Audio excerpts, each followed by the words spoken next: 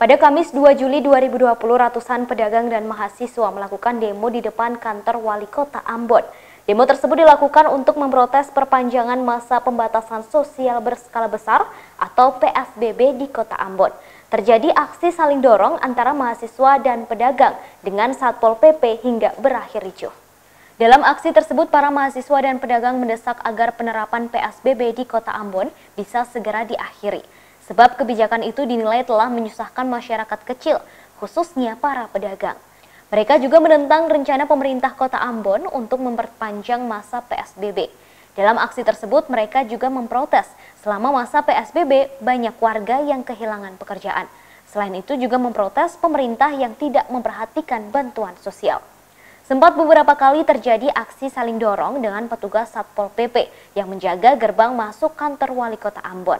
Dikutip dari Kompas.com, Kamis 2 Juli 2020, kericuhan beberapa kali terjadi lantaran keinginan para pendemo untuk masuk ke halaman kantor wali kota Ambon tidak dipenuhi.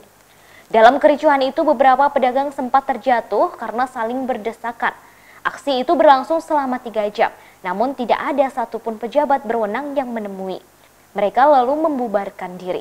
Namun mereka mengancam akan terus melakukan aksi hingga pemerintah kota Ambon mau memenuhi permintaan mereka.